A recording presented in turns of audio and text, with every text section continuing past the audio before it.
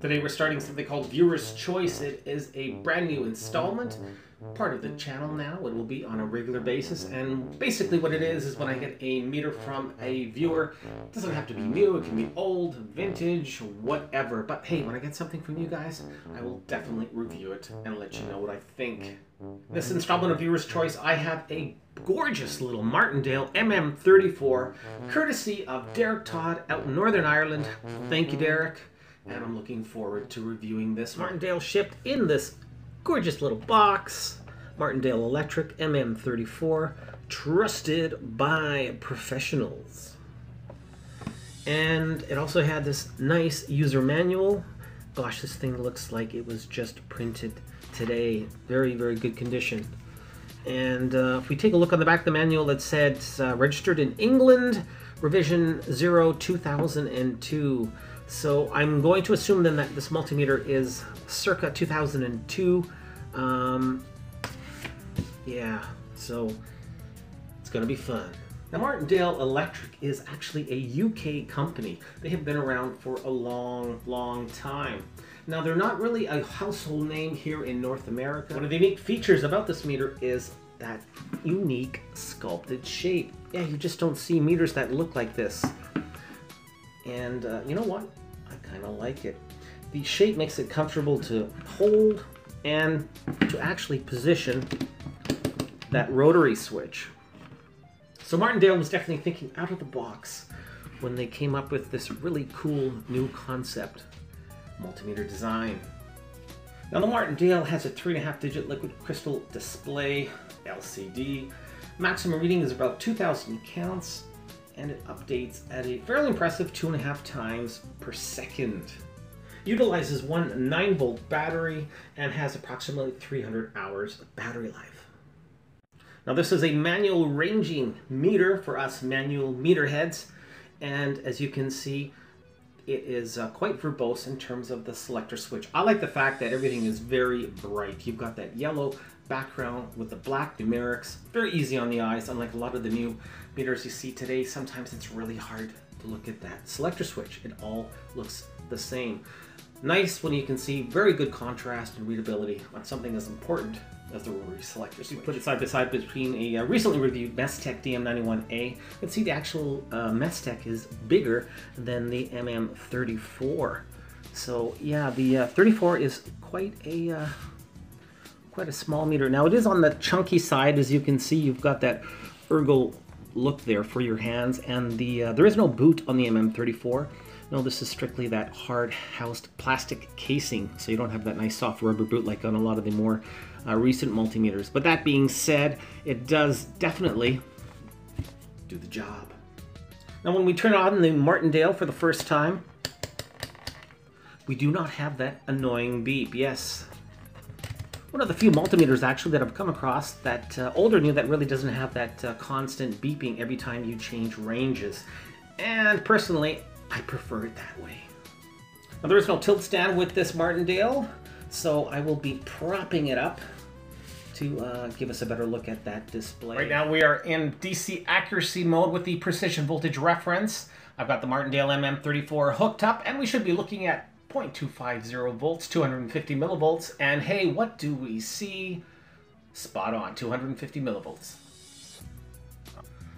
Now we should be looking at 2.50 volts, here we go. Wow, 2.50 spot on. I am liking what I'm seeing. Good stuff, Martindale. Excellent. Alrighty, we're going to start off with a DC voltage test. I've got three meters here lined up. The WinApex ET8101, one of my favorite cheapos thus far. The Fluke 83 on the right, and the MM34 from Martindale. Star of the show in the middle. Starting off at 1.8 volts, and as you can see, they are all spot on. 1.885 for the WinApex, 1.88 for the 34, and 885 for the 83. Well, that's a lot of eights. Okay, here we go. Taking it up a notch, we're gonna go up to a whopping 5.6 volts. 5.66 for the 8101, 5.67 for the 34, and 5.66 for the Fluke 83. which by the way was calibrated last year.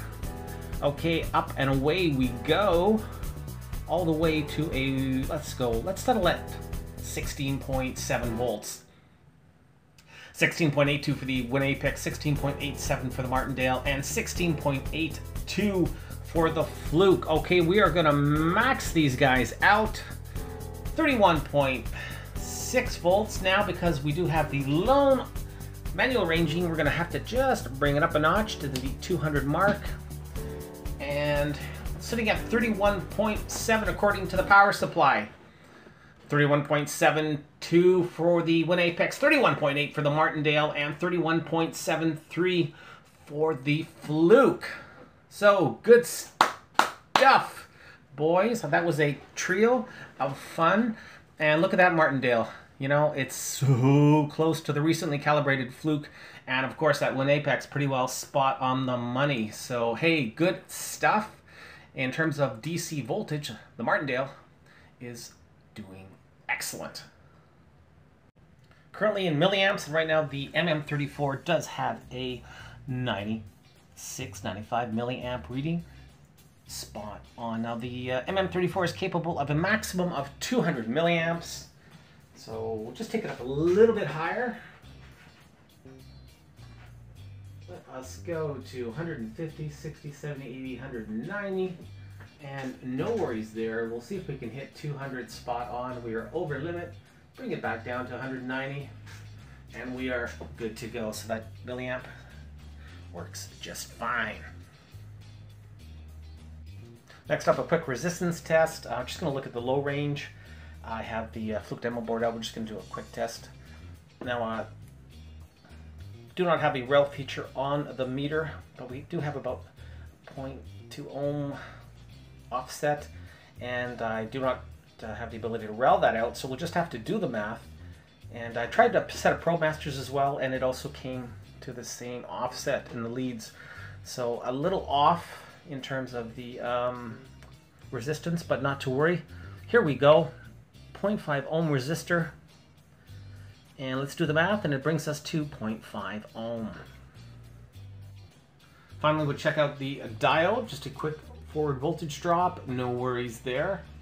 And the Martindale MM34 does not do continuity. We're in diode mode now, and let's see how many LEDs the Martindale Electric MM34 can light up. Here we go. It is lighting it up, and we do have a forward voltage drop. Trying out the yellow now, and dual success. Onto the red LED, we have illumination in the nation along with that nice forward voltage drop. Let's move it down to the Blue Lagoon. Oh, look at that. Nice and illuminated, but we do not see that forward voltage drop on the display. Finally, the white LED. It is able to light it up. And once again, we do not have the uh, actual forward voltage drop being displayed. So in terms of illumination, we have a 5 for 5 and 3 out of 5 for the indicated voltage drop. So all in all, hey, pretty darn good. Diode output voltage is just over 3 volts for the MM34. Really nice feature with the MM34 is the fact that you do have your separate input jacks for the individual ranges. So we do have a separate microamp and milliamp jack for the low current as well as the separate high current jack for the 10 amps.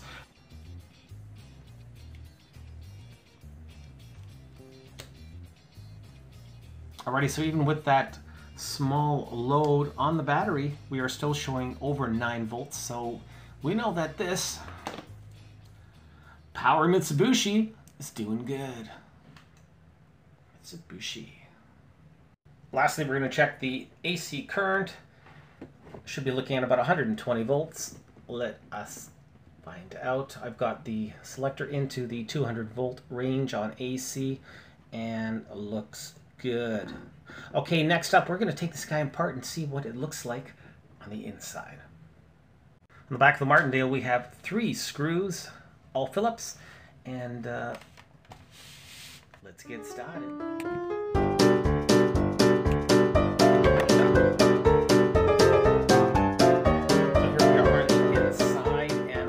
Right away you can see that there is quite a difference compared to what we see on a lot of new multimeters. First of all, yeah, gotta love it. Look at that shielding. Oh my god, that is amazing. It looks fantastic. And they have this uh, nice heavy duty plexiglass style uh, translucent plastic cover that is covering a lot of the inside of the meter as well. we flip it over, uh, we have no shielding on the other side, but once again, hey, it's already shielded. Now look at the size of those screws. Nice and long. Uh, definitely not like you normally. Now this is a British company, Martindale, but as you can see, they do outsource, of course, like most companies these days. And this one was made in Taiwan. One of the really nice things about this um, translucent case holder, for instance, is if you do get a bad battery or your battery goes bad and it begins to leak all over the circuit board, yeah, it's a real mess to clean if indeed you can.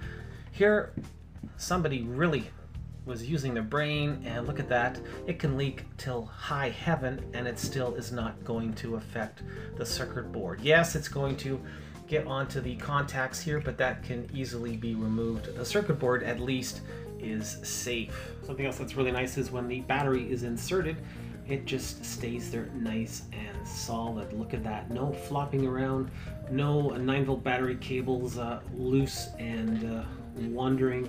Just really nice solid engineering. 10 amp 600 volt ceramic fuse and on the milliamp side uh, even though it's a 200 milliamp rating look at that they put in a really nice fast blow 500 milliamp fuse. The jacks themselves in there nice and solid. I mean, that is a really snug fit. They are of the split variety, but no worries here. And as well on the back of the chassis, you do have those extended slots, which are giving added back support to the jack inputs. I'm gonna go ahead and take off this beautiful translucent cover so we can get in a little bit deeper. Uh, another really nice touch is if you ever wanted to calibrate this meter, you can actually access your trim pot right through that uh, translucent protector. So uh, really nice, good forward thinking. Good job, Martindale. So basically one screw at the bottom right here, and then this whole top should just lift right off. Wow, beautiful. So this is the front of the chassis, as you can see, and uh, really nice quality plastic here. Very, very uh, high grade, and uh, yeah, really nicely done. And once again, they've carried that translucent uh, protector over to the front of the PCB as well. Um, look at that, you know, absolutely gorgeous. I don't think I've seen this kind of a design uh, on any other multimeter. Um, very, very interesting. So at the bottom over here, there's a simple push tab, and that released the bottom. And then here at the top, we have one tiny little Phillips, which I've just unscrewed, and the top should come off. And there we go. So it just pops off, comes. Uh, so that's the cover with the shielding. Absolutely gorgeous. Shielding built into that translucent cover. Amazing stuff.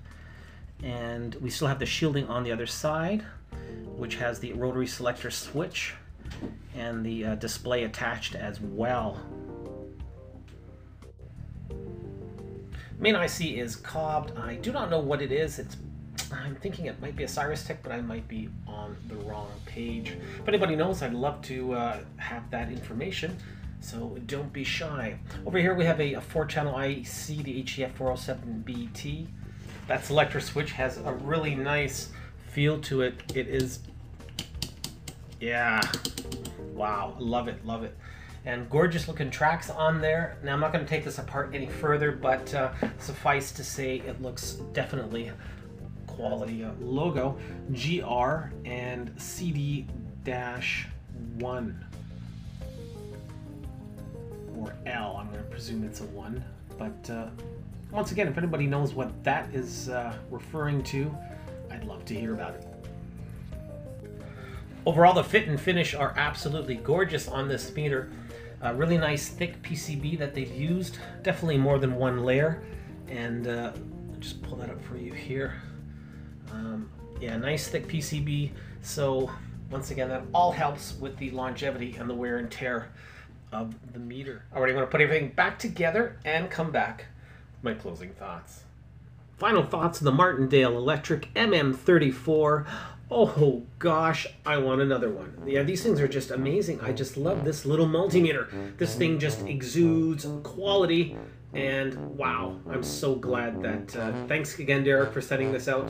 This was a, a real treat. Just wish it had that continuity feature. Oh, that would have been so nice. The MM34 gets a solid 4 out of 5 stars.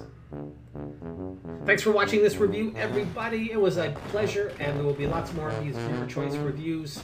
And if you want to see something um, in particular, you have a meter that you'd really like me to take a look at, hey, that's what I'm here for. Till the next time, keep on testing. Thank you.